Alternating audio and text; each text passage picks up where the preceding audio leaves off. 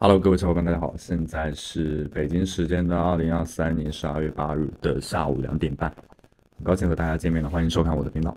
那么在节目开始之前，十二月的最后一个月，然后祝大家天天开心，迎接二零二四年，祝大家顺顺利利，都会可以一夜暴富。那么今天我来讲一下我是如何在哪里搜寻到我的空投任务，以及我去如何完成他们的。因为前几个视频，很多小伙伴会私聊我，会问我一些问题，他说可能指代的不明确，或者是教学不太那个，就不太仔细。那么我今天来大致一遍过下我前几个视频我要做的一些内容。那么首先我从第一个任务开始，那么这是 SoQuest 平台，相信大家就是在看我视频的时候应该知道这个是什么样一个平台，这它和 takeson 的话是也是一个任务平台。那么除了你有这个通行证哦。通行证的话，我在那个视频里就已经讲解过了，你如何去获得它。那么有这个通行证之后，你需要每天收集这样的一个我称之为钻石积分。那么它这一周的话，大概是四十九个。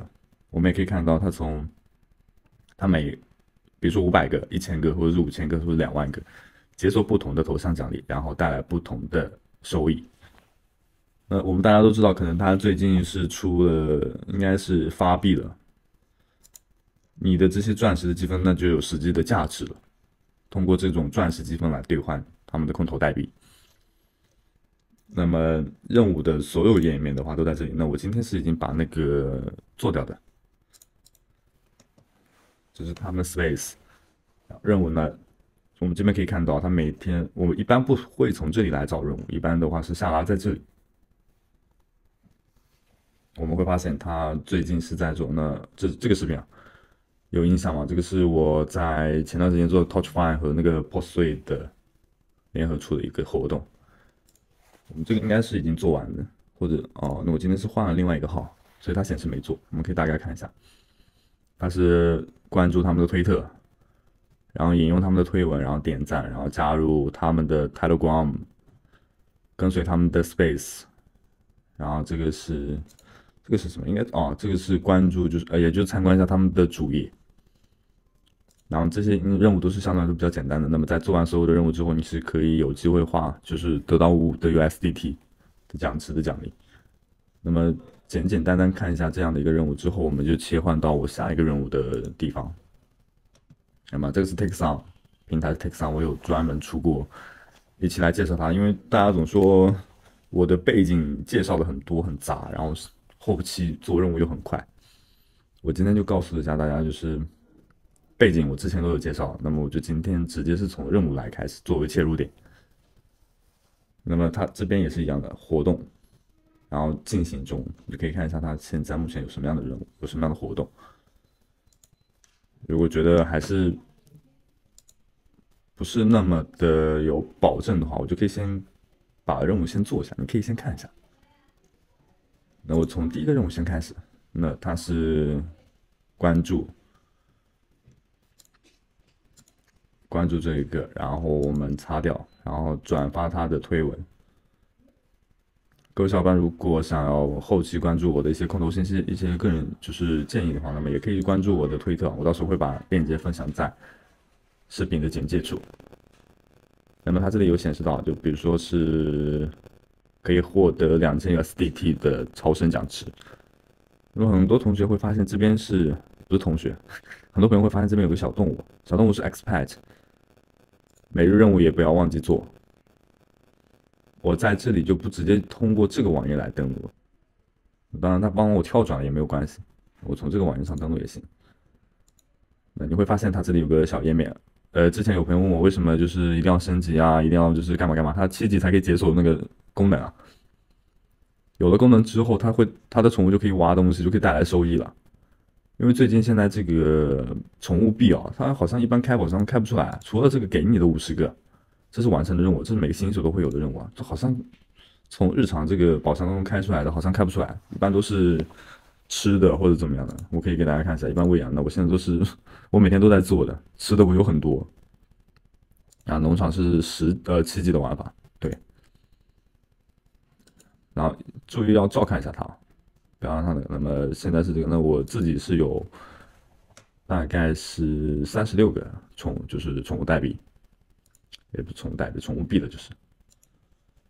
那么我们继续跟随在他的推特上。那我刚刚说的已经有三个任务了，一个是 So Quest，一个是 Take s o n 的。那么还有现在我做的，呃，还有那个 Expat 的，我就可以验证全部。然后它这边会显示我已完成，然后在油管上看一下此视频。所以在一开始之前的话，那么就 Welcome to Behind the Screen，这边我已经就是点开来看一下就好了。那么一开始的话，在做这些任务的时候，你一定要把 Discord、Telegram、推特，甚至是油管视频。你都要打开，然后放置在你的后台，这样它可以方便跳出来。那么，同样在做一些有价值性的任务的时候，你的小狐狸钱包也需要就是打开。如果你不知道怎么注册、怎么使用，你可以看一下我上一篇，就我之前的一些视频，我有专门出过一期讲怎么样使用小狐狸钱包，怎么样注册。那么这样的话，就是今天就是已经这样应该就可以了吧？我核实一下。OK，然后再加入他的 Telegram。应该就点一下，你要点这个，点 John，然后就 OK 了，然后把这个页面擦掉，然后核实，OK，然后点一下完全的，OK，他就说你已经获得了相对应的积分奖励，那么你的奖金值是两千，你甚至可以瓜分。那么它活动的结束的时候，它会自动就是抽奖，对，你到时候留一下就好。我们在做完这些任务之后，我们进行下一个，这个是 So Quest 的任务。然后之后我会在周一的很早的时候，请大家那时候一定要关注啊！OZ Game 就是奥兹游戏，它的第四季的玩法，OG 的话现在是零点三三一个，大概我每天做下来应该可以获得一份不错的猪脚饭。请那天晚上凌晨的时候，大概是我应该。出视频，然后剪辑大概两三个小时左右，你一定要关注啊！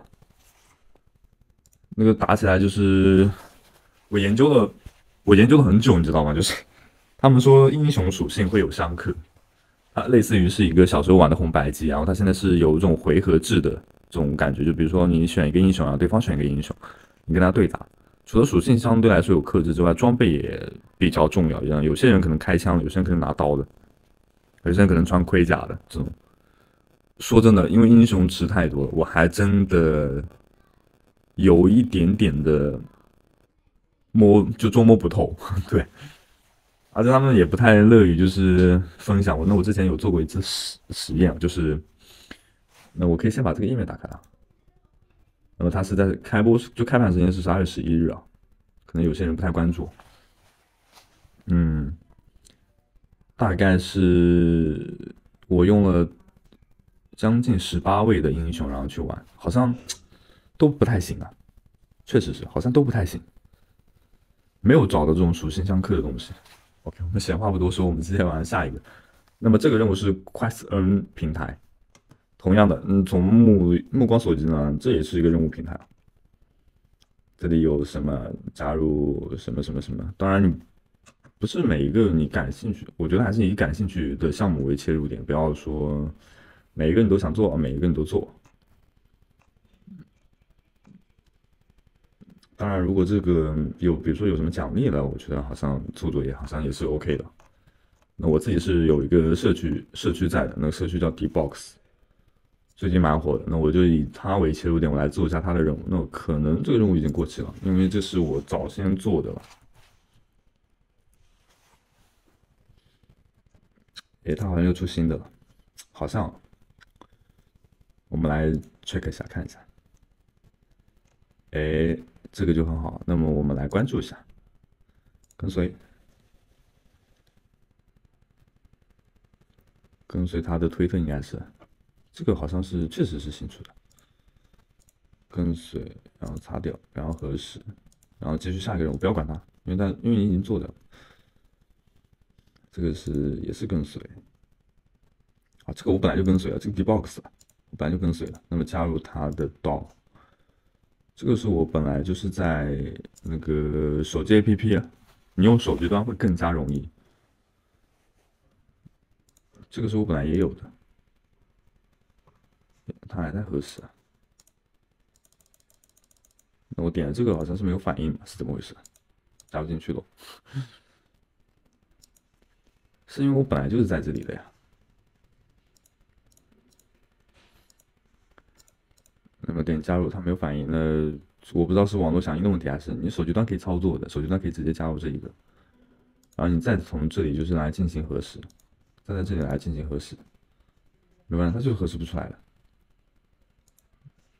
那它也会给你一个分享的链接，这里你再去操作一下，那好像确实是不太行，你手机端操作一下吧。然后核实完之后，你就可以这个点，你一定要点一下领取奖励哦，得到白名单的同时获得一个徽章，然后领取奖励。那么在后面，后面的话是兔子游戏啊，中文名字叫兔子游戏，它是连接的是应该是你的 Unisite 的钱包，然后具体任务我都已经做完了，我我这边已经点不了了，它任务做完的话就嗯，又能点了是吧？因为我已经有积分了，都可以。那这里已经有积分奖励了，我已经全部做完了。那链接之后，那它确实是点不了，我刚没有说错。任务做完，他点不了。绑定你的推特，然后做完这些所有的任务，他在十二月六日的时候会领取空投奖励，那个时间点大家不要忘记。那么回就最终的是我在前段时间刚做的一个任务，它是那个 Quest 大学这个任务。那么他会每天出任务界面，在这个界面上啊，在门户网站的权利帖子上。这里会出任务啊，但你有时候你去看的时候，它这边是会显示当前没有任务可以做。有很多小伙伴就问了，我把这个东西转发了，就比如说，就比如说像现在这个，我今天已经操作过，我没事，我给你讲解一下。你想像我这个，那我已经转发过了呀，我已经转帖过了，我也喜欢过了，我也评论过了。那为什么就是它这个积分是没有任何显示的呢？那为什么这个积分是没有任何显示的呢？除了当赛季的这个这个点啊，它不显示的之外，它会保留你的碎片，然后会保留你的等级，这是它新出来的一个规则。那么需要注意的是，你自己去点赞、转发和评论是没有用的，或者说有用，我我只是我可能没有发现，但是真正有用的是，有人通过你的帖子，你转发的帖子给你点赞、给你转发，然后给你评论，最重要的是引用了你这条评论。那么它这里有怎么玩啊？最重要是引用了你这个评论，那么它是可以加分的。然后它积分的实时性没有那么快到账，小伙伴不要着急啊，它没有那么快到账。它这个交互性做的很差，就是你这些任务可能你当时就已经做掉，但是它可能要隔个三四个小时或者甚至更久。那我每天没有那么多时间去看它什么时候会获得，我就大概看了一下，哎，比如说。我在今天十一点钟的时候做，那我下午大概是在十五六点钟我才去看，哎，我会发现我这样的分数是有在加的。你去留意一下，就是特别是你真实粉丝数比较多的，你这个东西很吃香的。那去那个推特当中，我看有几个都是六十多级的大佬啊，六十那个钻石的那个这个碎片都多到哪里去了？碎片可以换那个十字奖励了，碎片合成水晶，水晶可以得到十字奖励的，这是有金钱价值的。那你也可以看到，大概有四个喜欢、四个转发、三个回复、一个引号，这就代表你是每天都在有任务在做的呀。啊，怎么计算积分？那因为看你粉丝量的话，它会这个有个倍数来增长，这个是根据你自己来的。我觉得主要还是靠这些有没有人跟你产生互动这种。OK，那么这边就是我简简单单一天。呃，我刚刚有说什么？我说啊，怎么去做？怎么去做任务？怎么去筛选任务？怎么去找你比较喜欢的切入点？我自己是有社区，所以我会选择用做 T box 社区的任务活动。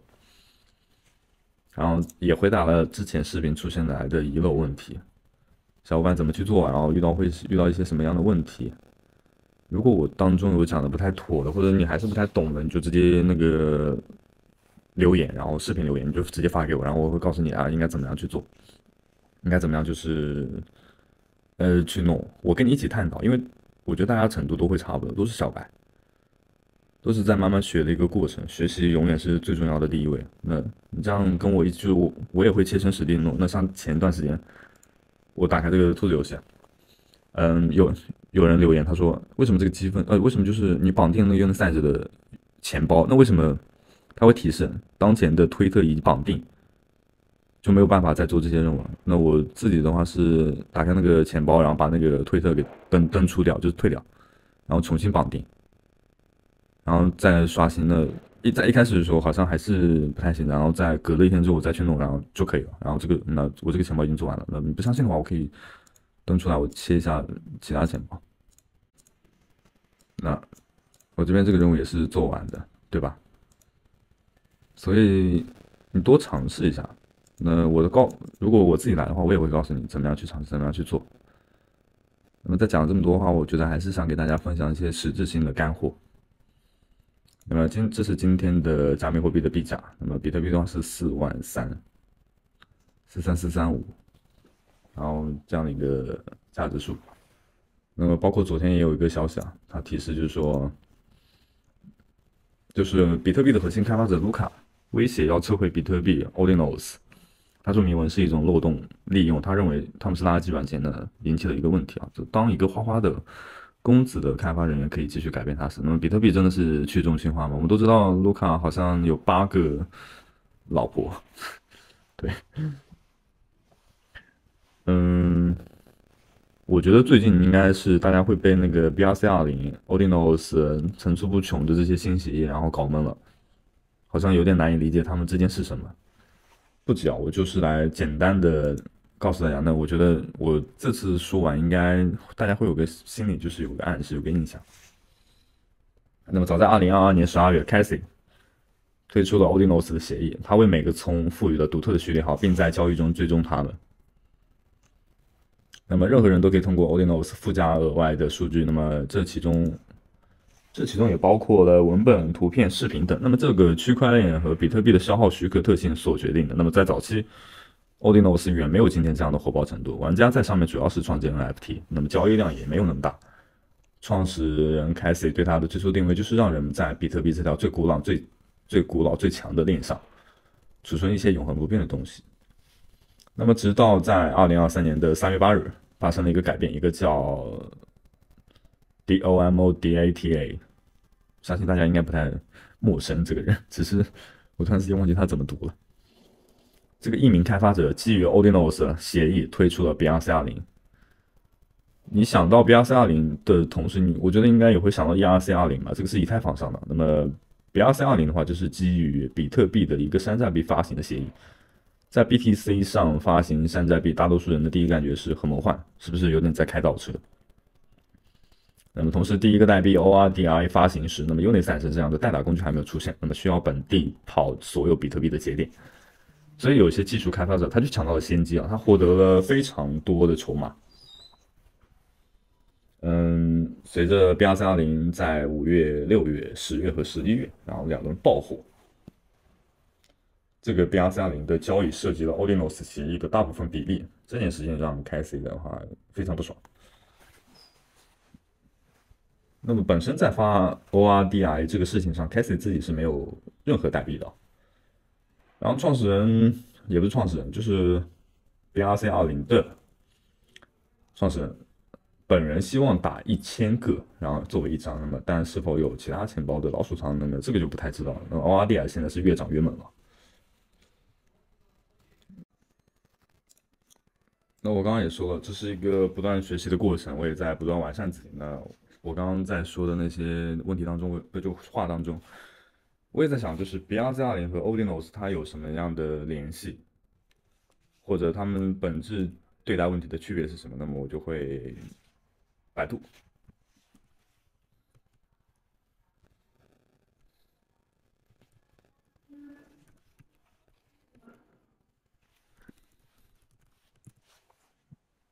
那么他这边有说的一个就是，它是基于 BRC 二零，BRC 二零就是基于 Odinos 的一个山寨币的发行权利。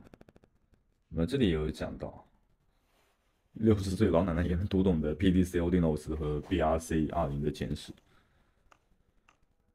那么在比特币上发行山寨币，然后很魔幻开倒车，但当第一个 ORDI 代币发行的同时，很火很火。这边有一些相对应的结论，如果感兴趣的话，我可以把视频的呃，就是这个文章的链接发给大家。对比来看的话，O Ordinals 是无为而治，它本身没有发币的协议，所以才有了后面的 B R C 二零。但当就是协议推出的同时，已经定义好了 A R C 二零代币的标准以及更多其他的用例。但值得一提的是，这人说话很像年轻的乔布斯。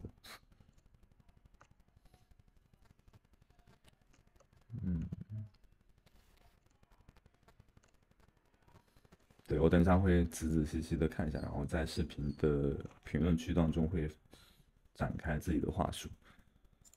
今天的视频非常非常的长，也很感谢各位的小伙伴一直听到现在。